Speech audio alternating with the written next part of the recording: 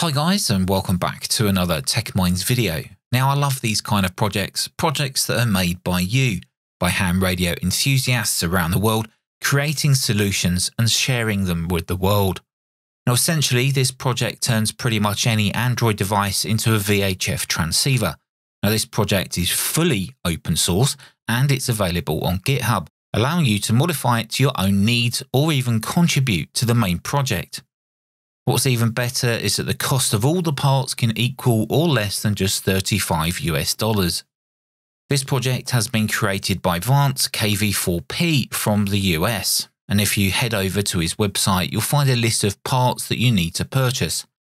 Now you'll need the radio board, the ESP32 development board, an antenna, which you'll most likely already have, an OTG adapter or cable, an SMA female 90 degree connector, a sticky gel pad, and of course the PCB. Now the PCB is available from JLC PCB and it's as simple as uploading the PCB files to their website to place the order. Now even though the individual boards are extremely cheap, there is a minimum order of 5 boards, so consider making some of these for your fellow ham radio buddies or other club members if you're in a club that is. Now, the PCB itself contains a filter network, and I would recommend to use the assemble feature when ordering the boards. This means the surface mount components will already be soldered to the board when you receive them. However, if you're confident that you can solder those small components, then you can save yourself some money and just order the boards and do the components separately. Now, I'd like to quickly thank today's video sponsor, and that's JLC PCB.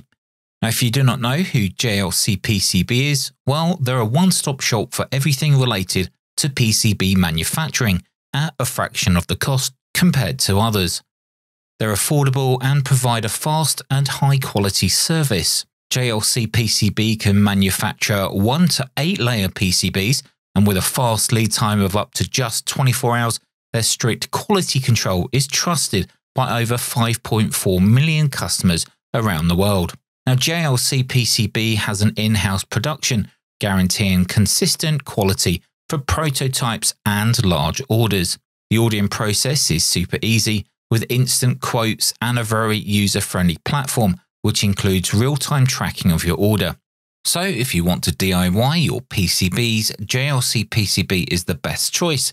Even multi layer PCBs are incredibly affordable six layer PCBs start at only $35. Now you can also get a $30 coupon for six layer PCBs on their website. That means you can experience high quality multi layer PCBs for just $5. Now I have here all the parts needed.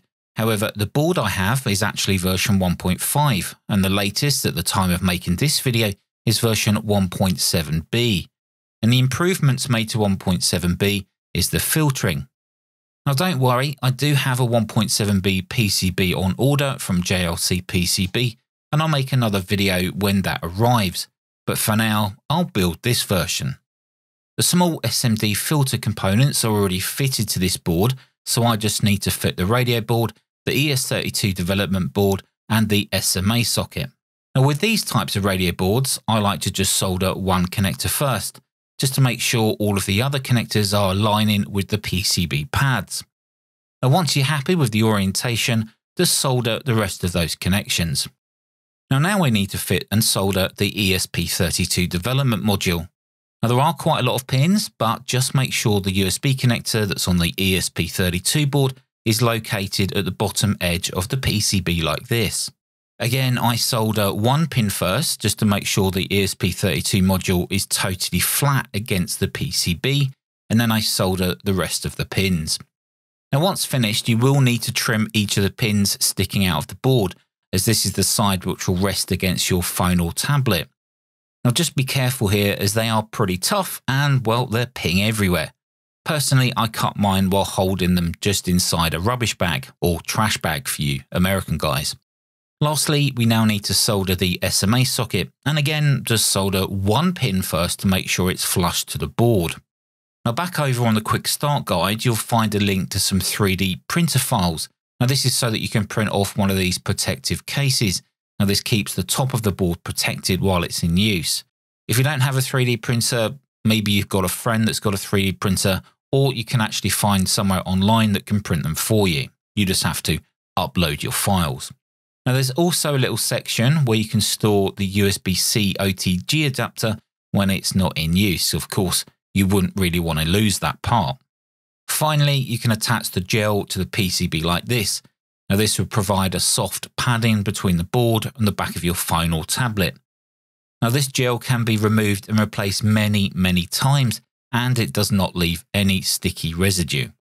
Now we have the board built and ready to be used, we do need to flash the ESP32 module with the correct firmware.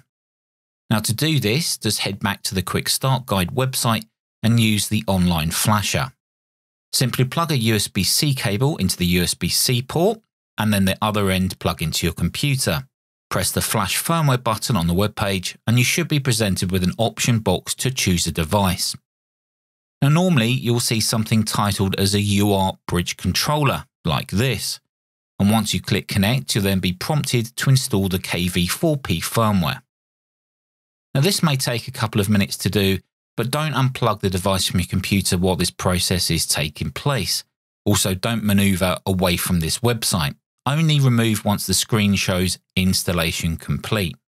Now you can unplug the device from your computer but what we do need to do now is install that application on the Android device. This is the application which will control the radio board and pass the audio to and from the board to your phone or tablet. Now, the application will work on both and it's available free of charge from the Play Store. You can simply search for KV4P and it will come up with it in the list of applications. In fact, the source code for this application is also on GitHub, meaning you can modify the application or even contribute to the project to suit your needs or help out the community. Now, when you plug the device into the phone or tablet, you should be prompted with this message. Once you accept, the KV4P application should load. Now, if it doesn't, just tap the icon on the normal kind of desktop. The application should now be working with the device, and you should be able to use this as a normal VHF transceiver. Now, let's go over some of the options on the software as it stands today. Obviously, from this moment in time, the application could look different or have more features because it's constantly being worked on. Now, to enter a simplex frequency, you just tap the large frequency digits at the top. The keypad pops up and then you can enter the frequency. Now, you'll also notice under the simplex frequencies, I have some pre programmed repeaters. Now, this is actually a group that I named repeaters and then manually added some local repeaters to that group. Selecting a different memory or repeater is just as simple as tapping the one you need to be loaded. Of course, you can also delete or edit a stored memory by just tapping on those three dots to the right. Pressing on the plus button on the lower right will pop up a new memory screen, and this is where you can go ahead and enter the details for a new memory, including an offset, and a CTCSS tone. The settings cog button on the top right will show the settings screen. Now here you can enter your own call sign in the top text box. Now this is used when sending APRS messages. Yep, you can send actual RF APRS messages with this app. Other options include setting a squelch level, enabling or disabling pre and de-emphasis, and also including a low or high pass filter, which can sometimes be needed when using FM. Other options include a sticky PTT, which will make the PTT button latched, and then there's a disable animation switch, and then there's a closed caption button, which takes you to your closed caption settings on your device, if it has it. Now, the main PTT button is that large round button located in the middle at the bottom. Simply press and hold that to transmit. The app uses the device's microphone and speaker for audio in and out. So if you've got a rather decent speaker on your Android device, then it should sound really good.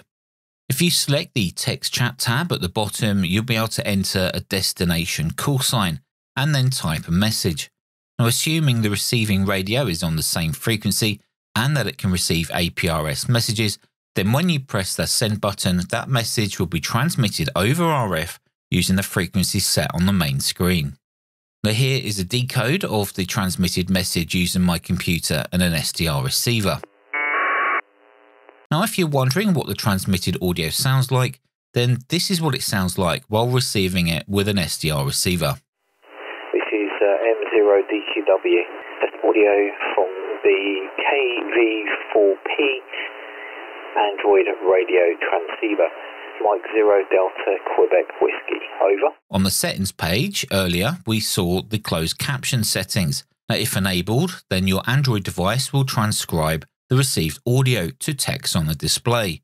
And most of the time, it does actually appear to work okay. Now, one last thing to mention, and you may have seen this earlier, but my Android device is too thick to use that recommended USB C to USB C OTG adapter. So if you find this is the case with yours, then you can use a short USB-C to USB-C cable like I have here. Now let me know down in the comments below what you think about this. This is definitely a far cheaper solution than buying an Android device which already has a radio board built in.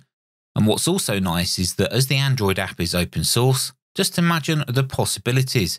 I can already imagine the implementation of the repeater book API, so only local repeaters are shown based on your device's GPS, and also packet radio features and APRS features, not just sending messages. Now, it's definitely a great time to be alive and be interested in ham radio. Anyway, guys, thanks for watching this video. Take care of yourselves, and I'll see you in the next video.